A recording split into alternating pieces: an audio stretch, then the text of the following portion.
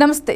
ఆంధ్రప్రదేశ్లో ఎన్నికలు ముగిశాయి. పోలింగ్ ముగిసిన తర్వాత టీడీపీ జనసేన బీజేపీ కూటమి ఇటు అధికార వైసీపీ నేతలు ఎవరికి వారు తామే అధికారంలోకి వస్తున్నట్లు చెబుతున్నారు. అయితే ఇప్పటికీ ఎక్కువ మంది రాజకీయ విశ్లేషకులు సర్వే సంస్థలు కూడా రాష్ట్రంలో కూటమి అధికారంలోకి వస్తుందని చెబుతుండగా అధికార వైసీపీ మాత్రం ఈసారి కూడా తమదే అధికారమని గప్పాలు కొడుతోంది.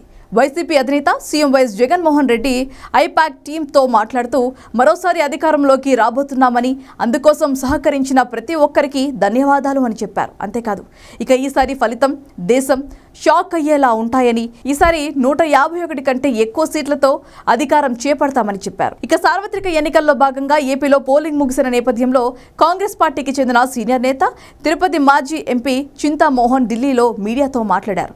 మొన్న జరిగిన ఎన్నికల్లో చంద్రబాబు నాయుడు అధికారం చేపట్టబోతున్నారని చింతామోహన్ పేర్కొన్నారు. ఢిల్లీలోని ఏపీ భవన్లో విలేకరులతో మాట్లాడారు.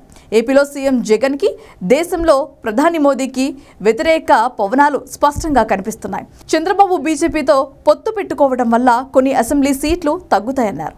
బీజేపీతో పొత్తు లేకుండా ఉండి ఉంటే నూట యాభైకి పైగా వచ్చేవి. దేశవ్యాప్తంగా బీజేపీకి నూట యాభైకి మించి ఎంపీ స్థానాలు రావన్నారు. ఏపీలో జరిగిన ఎన్నికల్లో ప్రాంతీయ పార్టీ అయిన వైసీపీ నాలుగు వేల కోట్ల నుంచి ఐదు వేల కోట్ల వరకు ఖర్చు చేసింది. అంత డబ్బును జగన్ ఎలా తేగలిగారని ప్రశ్నించారు. ఇంత డబ్బును ఎన్నికల్లో ఖర్చు చేసినందుకు ఆయనకు పద్మశ్రీ పద్మభూషణ్ ఇలాంటి పురస్కారాలు ఇచ్చినా తక్కువేనని చింతామోహన్ అన్నారు. అందుకే ఏపీ ప్రజలు ఆ పార్టీకి తగిన బుద్ధి చెప్పారని కాంగ్రెస్ మాజీ ఎంపీ చింతామోహన్ అన్నారు. ఏపీలో జరిగిన ఎన్నికలపై ప్రశాంత్ కిషోర్ మరోసారి మాట్లాడారు. ఏపీలో జగన్ ఓడిపోవటం తథ్యమన్నారు.